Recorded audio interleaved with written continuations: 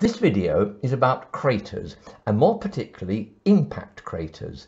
Those are craters that are formed by the impact of a projectile at high speed onto a surface.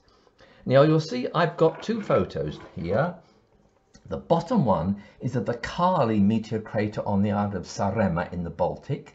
I've actually been there and it's about 100 meters across and you can see just about some people standing along the rim of the crater here. Uh, the top one is of the moon of course and uh, one particular crater that I'm rather fond of there is called Clavius.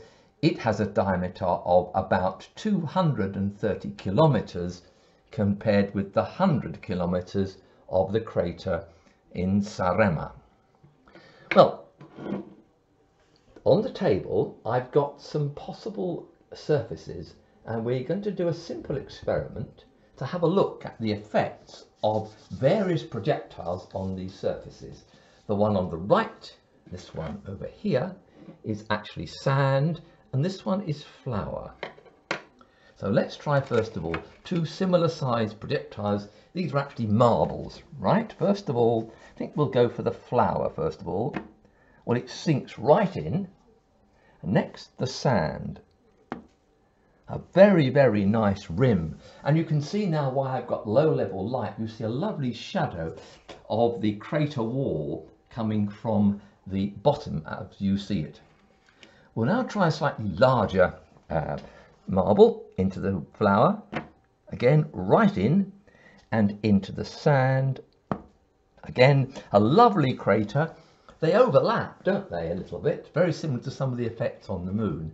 And finally, two ball bearings. First of all, the flour, right into the flour, and you would have seen some of the flour is blown out, just like happens on the moon, only with the moon it's rock that gets slung out.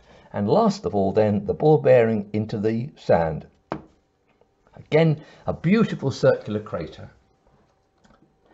The good thing about these ball bearings is they're magnetic, so we can actually get them out without damage to the crater.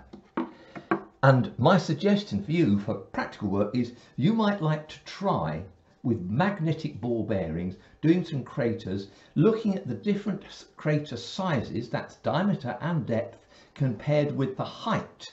And of course you can calculate their speed when they hit the surface of the sand to simulate the effect of craters um, formed on the moon by high-speed meteorite impact. Of course, many craters on the moon were formed by volcanic effects, but we're sticking here just to the impact crater.